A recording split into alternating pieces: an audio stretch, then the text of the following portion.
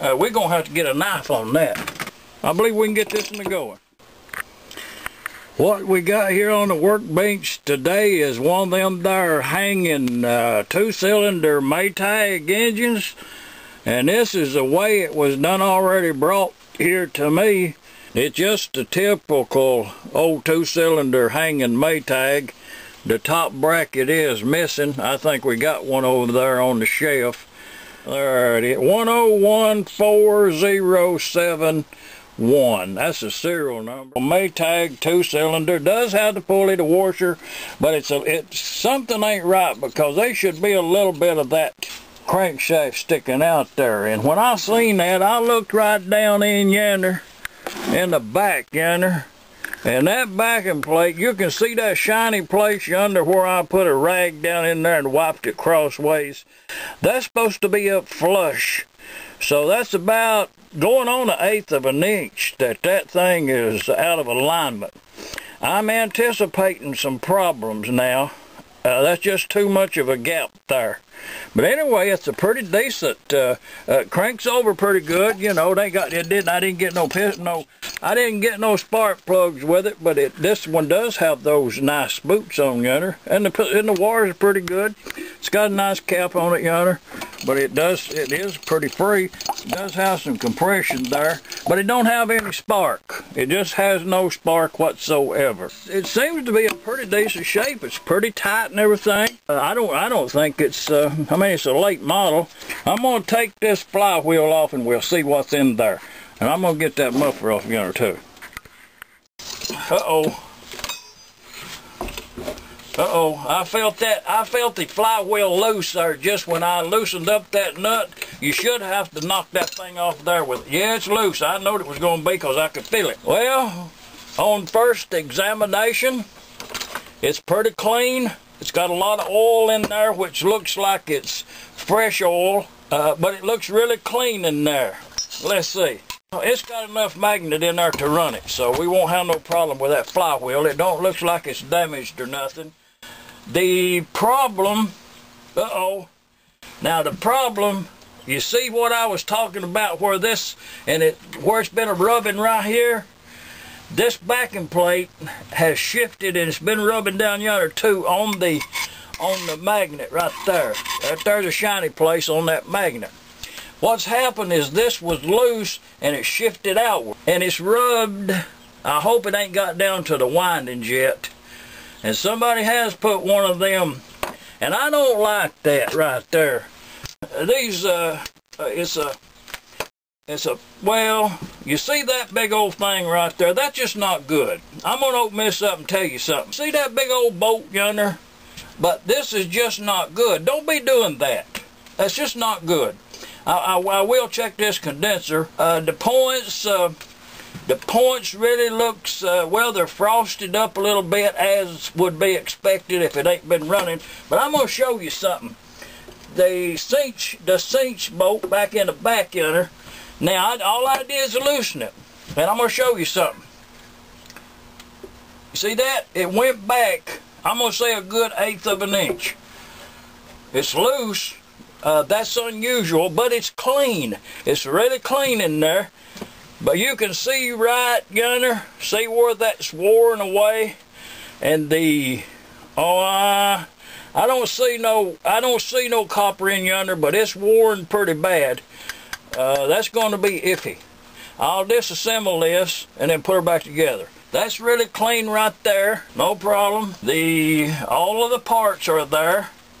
It's loose. That's surprising.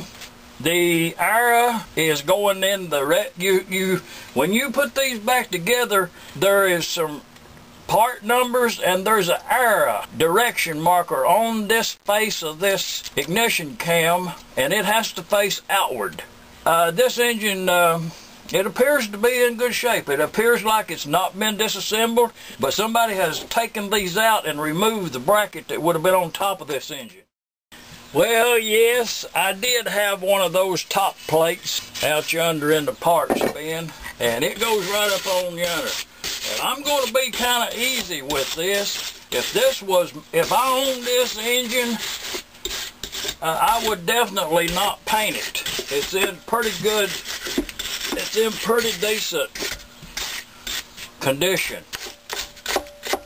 Sometimes you get one that should not be painted, and this is one of them.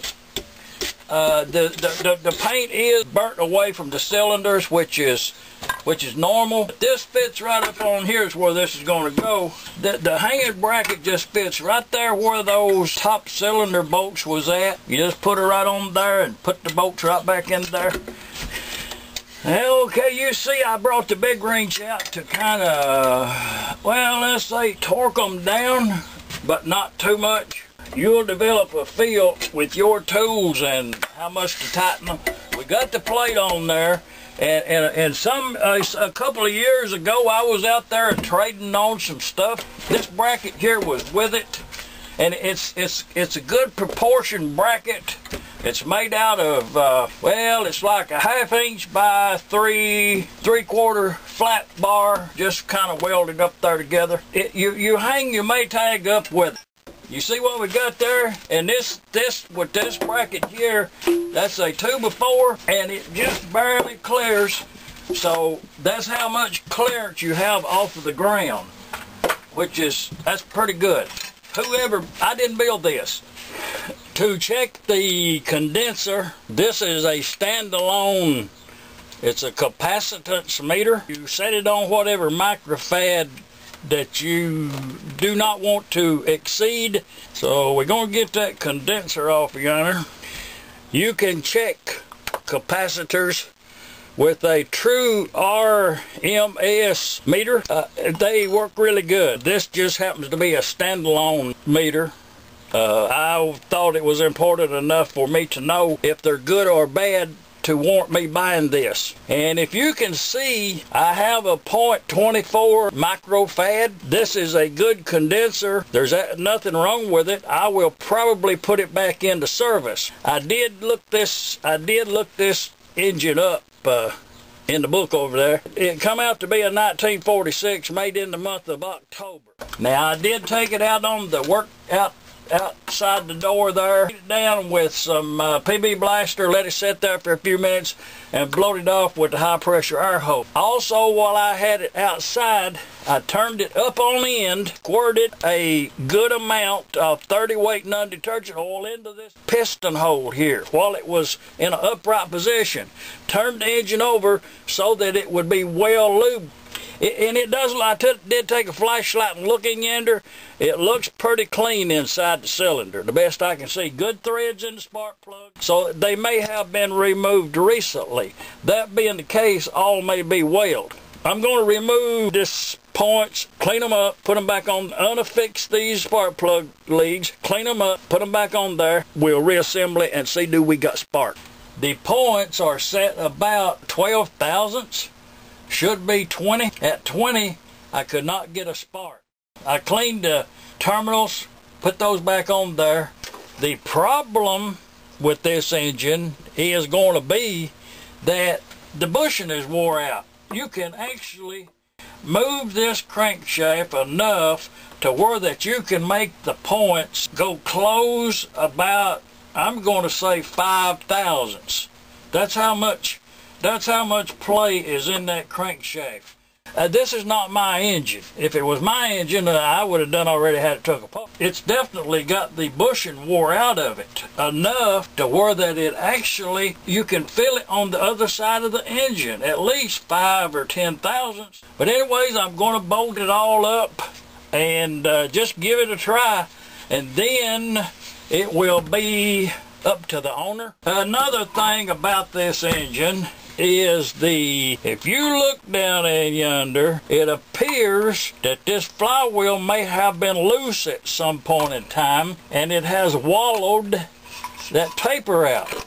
So it don't want to tighten up. The, the engine uh, appearance, you would think it was really a good engine and it is a late model, a 1946. But you can see that it does have its problems. It's hard to fix that. This is a DA. It's one of the better ignition systems. Okay, I brought this engine out here in the yard, put a muffler on it up yonder. When I kicked her over there, it started. So I did have to shut it down, go in there and get the camera, and we'll see if it'll start again.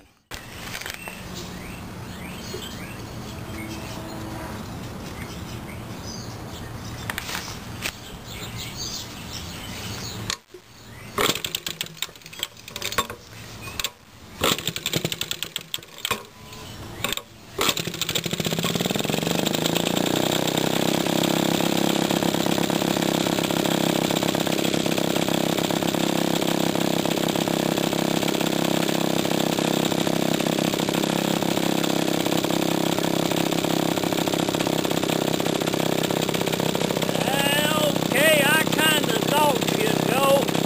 It took three kicks that time. I believe it'll get better after it runs in. I'm gonna mix up some more gas with about the double amount of oil in it and let it run. Now this little engine right here is a perfect example of an engine being wore out, used up. It's a late model. Uh, don't it's uh, the engine has not been abused uh, appearance, but it sucks air beside of the crankshaft where the worn bushing is at. So you have to give it a little bit more gas on the fuel cap.